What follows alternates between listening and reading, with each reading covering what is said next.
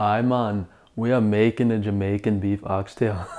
and uh, not really, but it's close enough to Jamaican beef oxtail that I have an excuse to make a horrible accent. And I'm not too worried about scaring away my Jamaican followers because I probably did that already when I made the Jamaican beef patties a little while ago.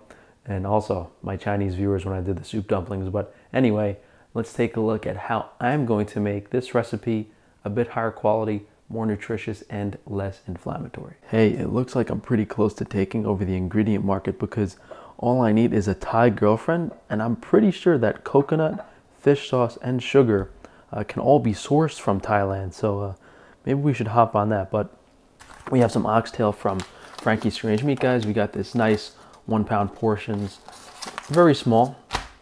Collagen broth from Frankie's Free Range Meat as well. Very, very high in amino acids. Pretty plain. Uh, you know, not, not super high beef flavor, but we're going to get that from the oxtail. Frankie's steak seasoning, which actually has the perfect combination of seasonings for oxtail because you would normally put those spices and herbs on oxtail, but since we have this, we don't have to. And there's also some salt in this, so we will not be needing salt. Most recipes do call for soy sauce or replacing that with coconut aminos. And there is fish sauce in traditional Jamaican beef oxtail, or was it Worcestershire sauce? I don't remember. Sugar is always in the recipe, and normally what they do is they put all this stuff on the meat and then sear it, but that's going to burn. So we're just going to uh, sear off the oxtail, get a nice brown crust on it, and then combine everything in the pressure cooker. Uh, I will say if you want this to like not be carnivore and you want it more traditional, they do add, you know, garlic, onion, carrots, even beans. Uh, but I would imagine this is going to be nicer because you have the meat base, and then you can always put this on top of beans or rice, whatever you want to have it with you know, definitely don't put uh, canned beans in, in this recipe because it's just going to taste like the, the beans. It's going to be kind of gross, overpowering flavor. So we're just going to pat the oxtail dry so it gets the crust a lot easier. And I used to really be a fan of oxtail because it's super meaty, flavorful, not so affordable anymore, you know, with uh, all the nonsense going on, the supply chain stuff, and this being a very popular dish in Caribbean restaurants, oxtail is not cheap to say the least and there's only one per animal. So our pan's a little too hot, it's smoking a little bit, but that should mean that we get the crust a bit easier.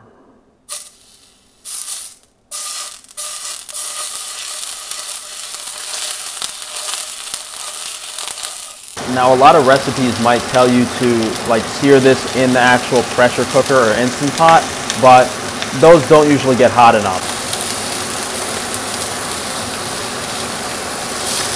So we don't really want to burn too much. We'll deglaze the pan with a little water.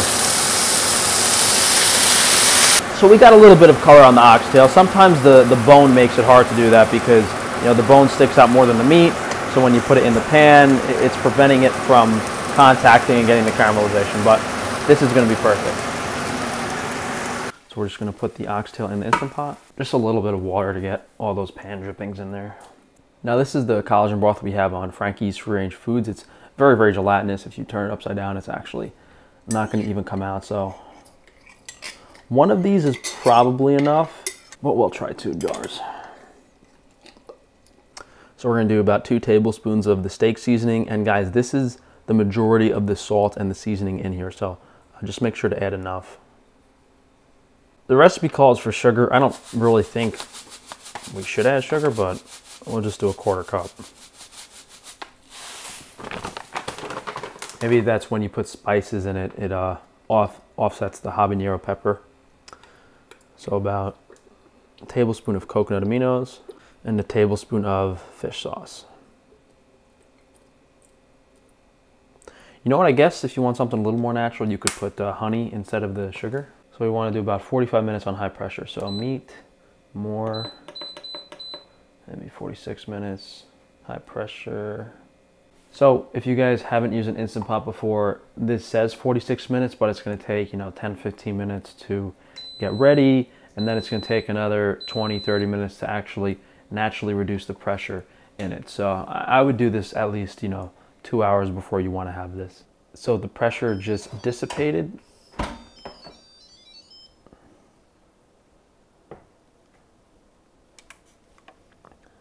Still very, very hot.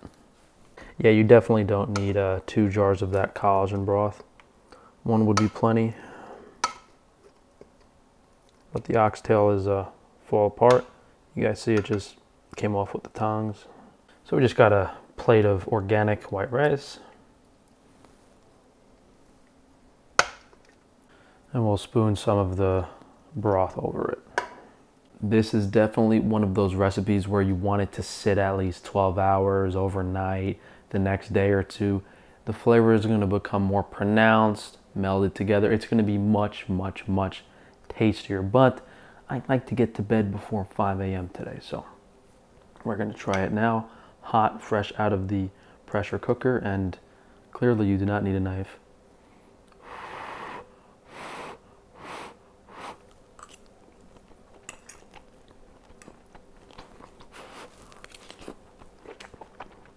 I haven't had oxtail in, oh man, it might be years I haven't had oxtail. I can't remember. I don't usually make it, but the amount of flavor that's in this eh, for just two hours is unbelievable. Most flavor I've had in any, you know, dish in that period of time.